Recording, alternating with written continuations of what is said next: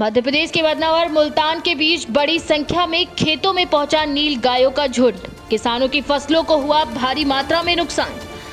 काफ़ी कोशिशों के बाद भी किसान नहीं कर सके अपनी फ़सलों का बचाव। मध्य प्रदेश से दिनेश प्रजापत की रिपोर्ट।